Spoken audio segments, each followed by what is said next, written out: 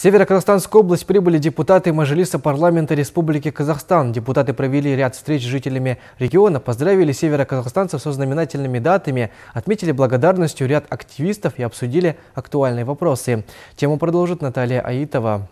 Вот уже 30 лет молодая республика Казахстан ведет стратегический курс, направленный на развитие экономики, повышение благосостояния и качества жизни населения, сохранение мира и общественного согласия в стране. Депутаты парламента поздравили представителей этнокультурных объединений и структурных подразделений областной ассамблеи со значимыми событиями в стране. Ассамблея народов Казахстана создавалась опять благодаря Ильбасы первому президенту с 95 -го года. И вот 26 лет каждая, как э, город, каждый регион, наверное, уже каждое село нам вот тут вот говорили, имеет такие объединения.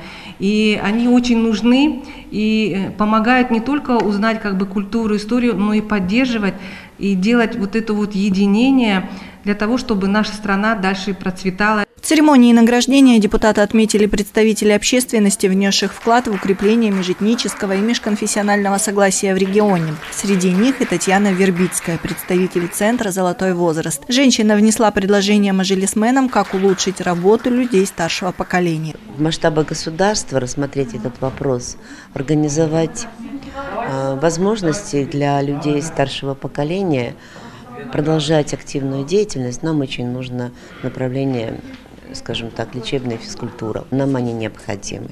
Необходимы людям старшего поколения, чтобы они не были обузой, прежде всего, для молодежи, для своих родственников, для того, чтобы они были здоровыми, позитивными, чтобы они еще и пользу приносили. Позже мажилисмены продолжили встречу с активной молодежью региона. Представители СМИ, неправительственных организаций, волонтеры вели открытый диалог с гостями. Пользуясь случаем, они задавали актуальные вопросы, демонстрируя свои прогрессивные взгляды. Есть ли какие-либо программы по сдерживанию цен на жилье, так как у нас Северо-Казахстанская область является областью с наименьшей э, заработной платой, и молодежь, даже мои ровесники 30-летнего возраста, иногда не могут купить себе жилье. Сегодня цены на в том числе строительные материалы, к сожалению, повышаются. И даже мы разговаривали с некоторыми застройщиками, которые занимаются строительством социального жилья, да, сегодня говорят о том, что а, им просто невыгодно да, удешевлять.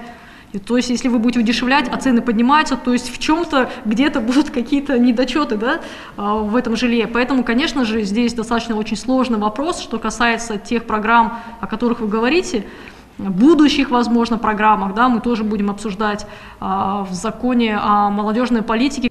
Условия труда, переименования городов и северные льготы. В ходе встречи были затронуты различные темы. Завершая диалог, мажилисмены отметили, что 30 лет для истории – короткий отрезок времени, но для страны это большой путь становления. И долг современников – продолжить стремление жить в развитом и сильном государстве. Наталья Итова, Анатолий Белонок, служба новостей.